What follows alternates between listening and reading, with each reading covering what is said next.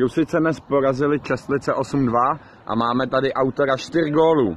Pláňo, jak se viděl dnešní zápas? Tak dnešní zápas, výsledek mluví za vše, ne? Vyhrál 8-2, to, že jsem dal 4 góly, to je takový bonus, ani jsem to nečekal, ale já dělám všechno pro tým, že jo, Rusice chtějí postoupit, akorát to nikdo nechce slyšet, ale jdem nahoru. Tak učím se od střelce z Ačka, že jo, od. Ačka, takže teď sice 4 góly nedal, ale furt Dobrý. o 20 gólů víc než já. A co by si, co by si řekl soupeři? Byl slabý nebo my jsme byli tak dobrý? No, tak já myslím, že my jsme byli dobrý, no, ale soupeř mě zklamal, podle tabulky byli druhý.